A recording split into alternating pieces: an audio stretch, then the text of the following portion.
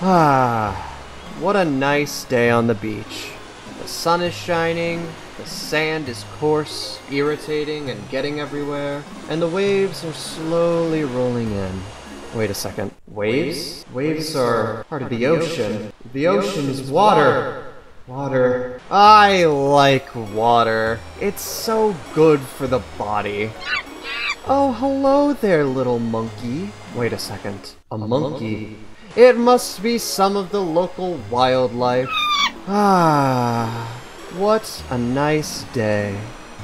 Oh my gosh, I need to redesign Swimian! Hello everyone, it's me, it's Porter, and it's finally time to redesign the water starters of the Kalista region. If you haven't seen my videos on the grass and fire starters, you can find them in the Kalista region playlist that I linked in the description below. Now for those of you who are unfamiliar, Kalista is a Fakemon region I'm working on based on the state of California. So far, it is home to six finished Fakemon designs, those being the grass and fire starters, but today, we're going to be adding three more. Swimian, Maclam, and Makaikido are the water starters of the Kalista region.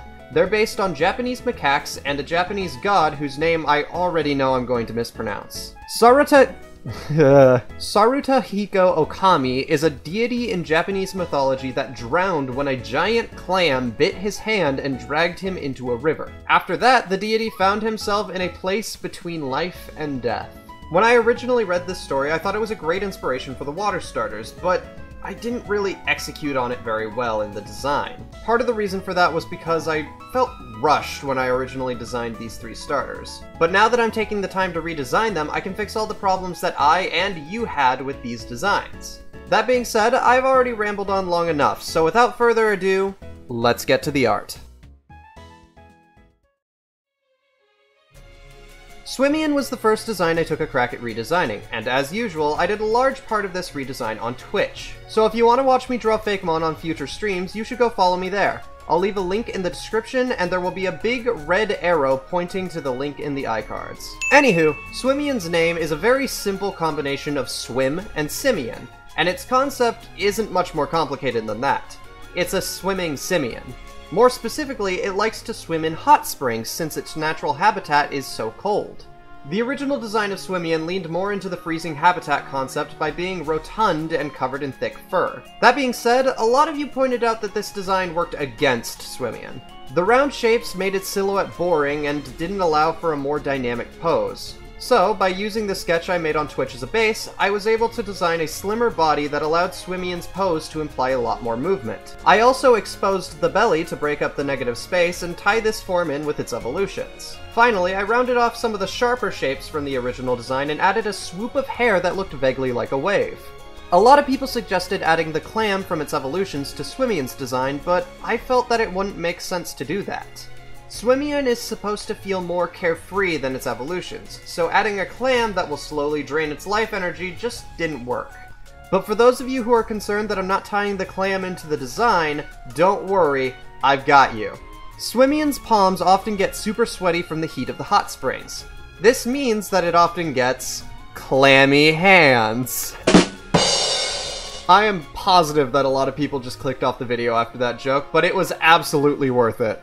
Anywho, to help imply this part of Swimian's lore, I added a wavy design to its arms that looks a little bit like dripping water. This also helps in making it feel more like a water type. For the colors, I didn't change much. I kept the lighter blue from the original design and added a darker, more saturated blue to the hands. There were a couple of people telling me that the red from the original design was a little bit overpowering, so I toned it down for the redesign. After that, all I did was change the eye color and I was done. Swimian, the spring monkey Pokemon, a water type.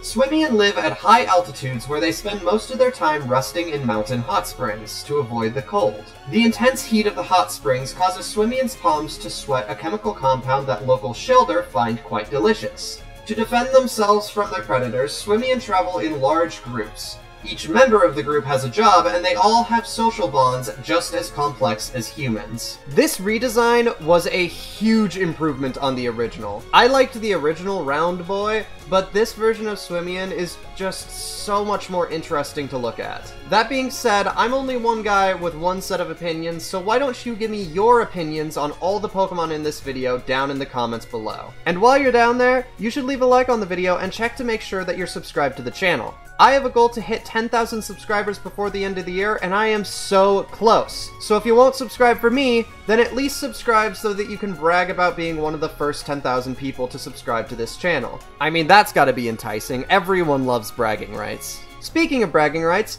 I don't have a good way to transition into this next bit, so let's just draw Maclam.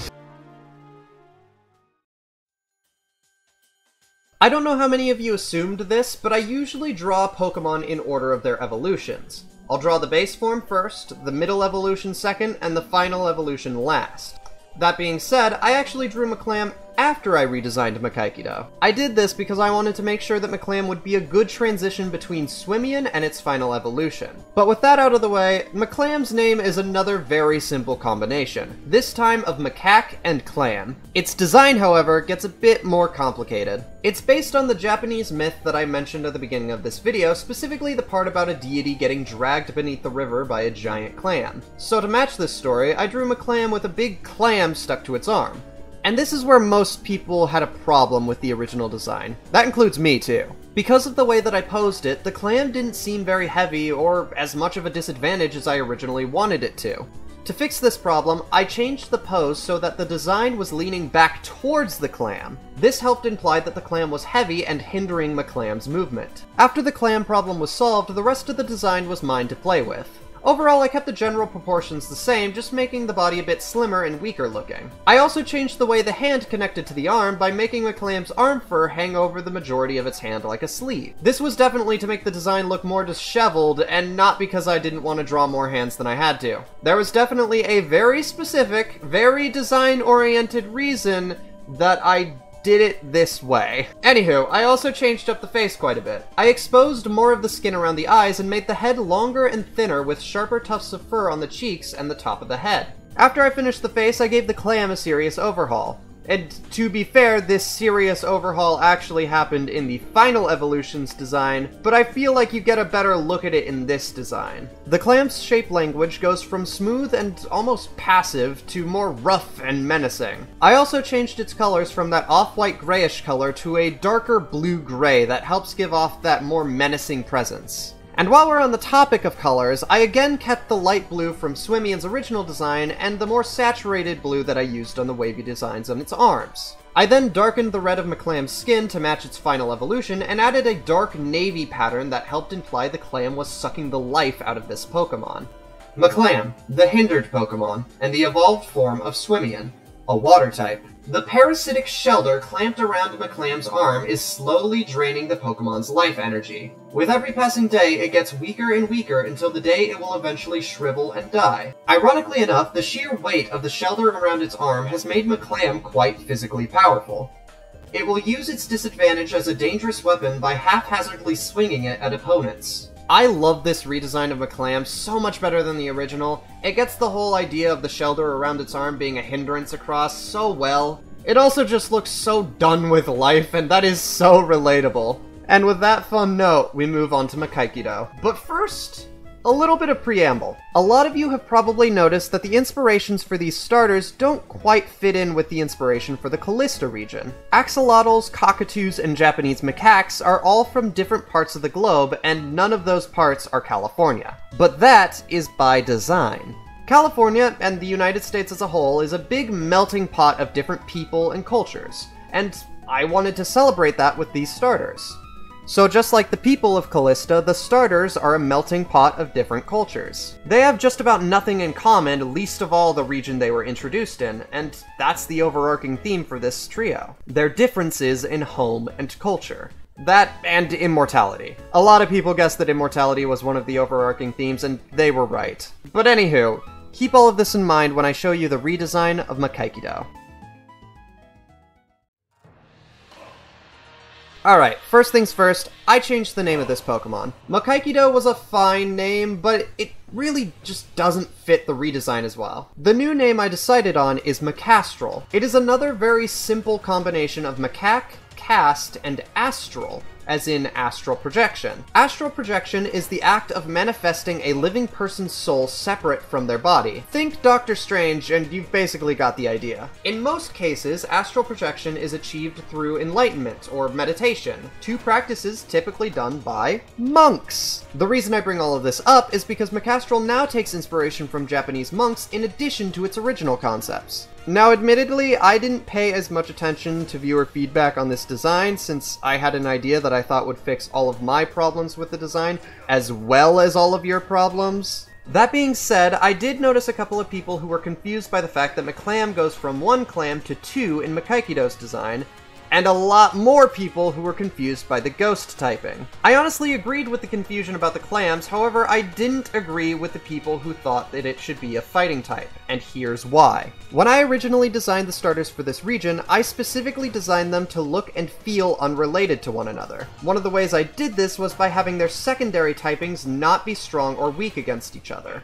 I chose the Ghost type for Macastral because it stands on the line between life and death, but also because the Fighting type would have made it weak to the Fairy type of Eternix. So there's my reasoning, and now you have to accept it. But moving away from the more conceptual side of these designs and back to the physical side, Macastral's overall physique didn't change much. It is still a buff monkey, it is just a leaner buff monkey. Honestly, the biggest change to this design was the pose. It's a lot more dynamic, and it helps Macastral stand out more than its previous iteration. I also moved the Shellder from its hand to its shoulder, where it projects an astral arm for Macastral to use in combat. This ties the design into the new theme of astral projection, and means that I can say that this ghost type quite literally has a phantom limb. Other than these few major changes, I made little tweaks to Macastral's arm, legs, and head. Actually, now that I think about it, the head also got a major overhaul. I changed the tufts of fur on its cheeks, changed the man bun into a swoop that matches Swimian's, and changed the eyes. I gave them bags and made them black with glowing blue irises. Or are they pupils? I honestly don't know. Anywho, for the colors, I again went for the same base blue from Swimian's design, and added the red and navy that I used in Maclam's design. After that, I added a saturated blue that was unique to this form, as well as the blue that I used in its astral arm. Macastral, the Enlightened Pokemon, and the final evolved form of Swimian, a water and ghost type. Macastral stands on the line between life and death, never quite choosing a side. It seems to have reached a state of enlightenment that most people can only dream of achieving. The Shellder that once plagued Macastral's life as a Maclam is now used as a conduit for astral energy. With Macastral's newfound power, it can create a phantom arm with a punch powerful enough to separate one's soul from their body. Okay, it's time to be completely honest. Macastral is my new favorite starter. It just looks so cool. I am incredibly happy with this redesign. It is my favorite of the nine Pokemon I've redesigned recently. I can totally see it with some punching move that does damage based on the target's special defense and also lowers special defense because it's punching their soul out of their body. Ah, oh my gosh, I'm so happy with it. Oh, yeah, and for those of you who are upset that Macastral isn't a fighting type, don't worry. Its hidden ability Martial Artist basically gives stab to its fighting type attacks. That's it!